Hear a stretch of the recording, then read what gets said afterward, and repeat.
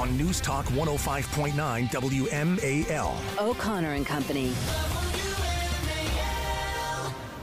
And the new legislation will allow MPD to limit loitering by reinstating the ability for the police chief to declare a drug free zone for up to 120 hours to disrupt and prohibit people from congregating on public space for the purchase, sale, or use of illegal drugs. Wow, that's going to be a difference maker right there. Uh, now the police chief can declare a drug free zone so people can't congregate to purchase or sell drugs. Also, we are creating criminal penalties and establishing a new crime directed towards organized retail theft in our city. Organized retail theft is now defined as uh, a group of people stealing uh, more than $1,000 worth of goods. Yeah. And now that's a crime. That's going to make a difference here in the guy. Oh, and the other uh, pièce de résistance from Muriel Bowser yesterday, the mayor of D.C., said that uh, there's additional penalties if you commit a crime while wearing a face mask. Oh, dear. The face mask that she, you know, shut restaurants Insist- down insisted for yes. if people weren't wearing them. Yeah. And. Uh, but of course, just walking around every day, right up until the moment you commit a crime, you can wear that mask and hide your identity. Yes, But then it's yes. you're in Take real the trouble. mask off right if you, you- carjack someone, you're in trouble. But if you wear a mask, you're in real, Real trouble. All right, listen, I'm not an expert in law enforcement, but our next guest is. Maybe he can help us out. He is Gregory Pemberton. He's the chairman of the DC Police Union. I mean, I, it sounds to me. I, I've, I've said this, Mr. Pemberton. You t- you tell me if I'm wrong.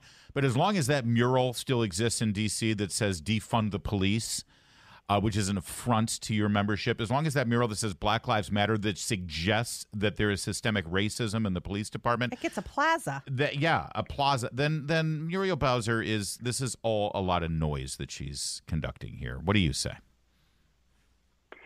Well, eh, good morning, Larry and Julie. And, and what I will say is, uh, obviously, we have our criticisms about the mayor, but w- what we're seeing here is actually a pretty common sense step forward, and, and it's a step back into sanity. Um, eh, you know, obviously, retail theft is a big issue here for businesses, and, and having police officers be able to target folks who are in, in an organized fashion going in and stealing things and reselling them on the street, that could make a difference for businesses. Uh, declaring drug-free zones, we've seen a lot of open-air drug markets pop back up over the past few years since police staffing levels have, have dropped, and we haven't been able to have the sort of narcotics enforcement that we did in the past.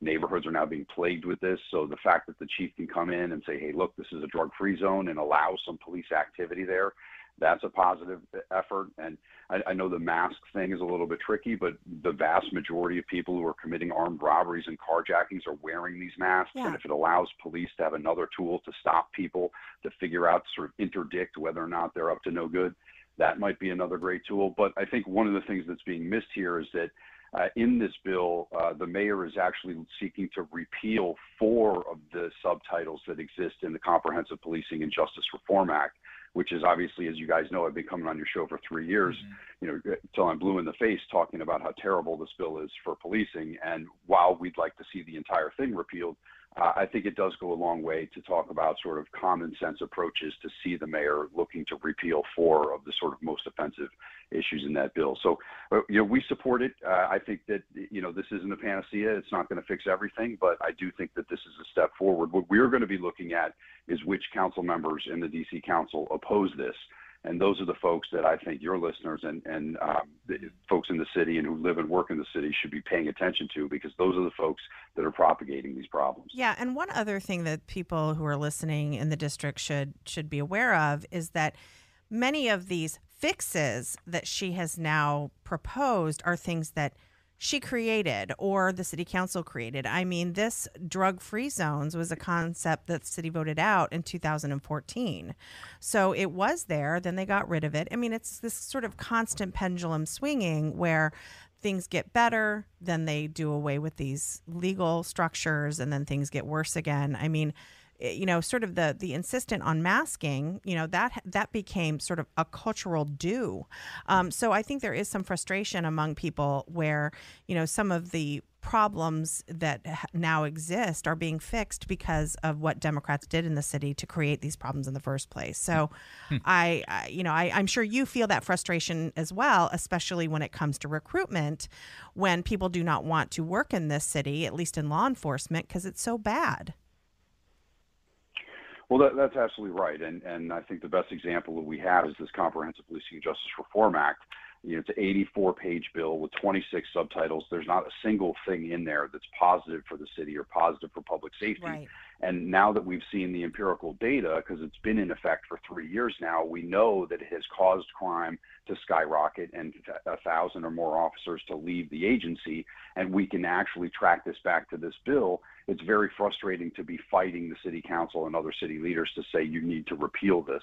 Uh, that you're, you're absolutely right. The city council comes in, does absolutely terrible things to the city in, in the guise of uh, you know, having this sort of utopia.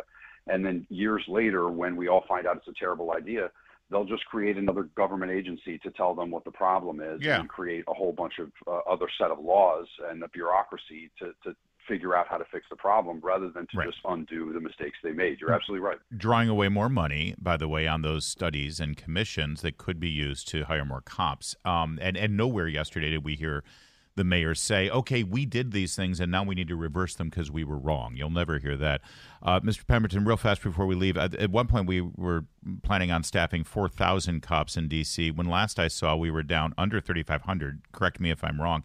Was there anything yesterday that you heard from the mayor? that would reverse that trend, that would get you more recruits and keep cops with better attitudes and better morale on the job right now?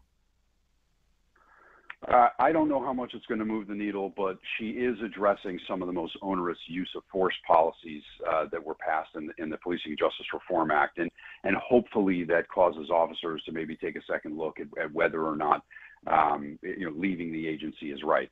I don't really know how much that's going to move the needle. I think there's a lot more that needs to be done, but certainly getting back to 4,000, uh, no, I didn't hear anything that's going to get us back to 4,000 yesterday. Thank you, sir. Always good to talk to you. And you know, we've got an open uh, door for you anytime something's up and the cops need a voice. You can let it be heard right here. Thank you, sir.